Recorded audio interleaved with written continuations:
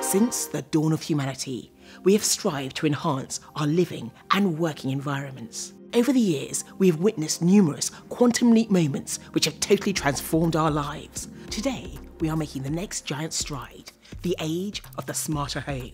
At any time and from anywhere, we can now switch on lights, turn up thermostats, unlock the back door using Samsung SmartThings technology. So what can we expect to see in the next 100 years? As city space becomes more squeezed, we will burrow deeper and build higher.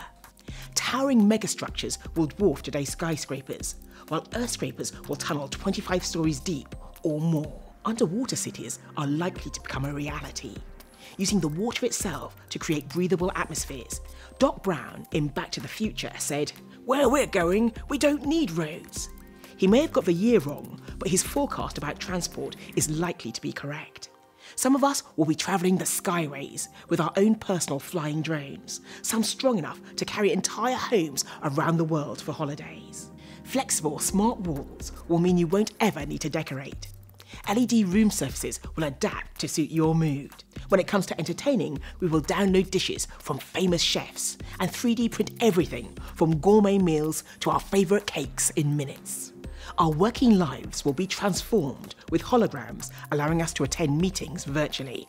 Step in home Medipods will confirm if you are really ill, providing a digital diagnosis and supplying medicine or a remote surgeon if needed. The next giant leap will see Earth as solar century as we start colonising space. First the moon, then Mars, and then beyond, out into the galaxy. Remember, these are just predictions for the century ahead. But with technical and medical breakthroughs moving apace and an ever increasing life expectancy, you may not need to take my word for it. You might just be around to see it for yourselves.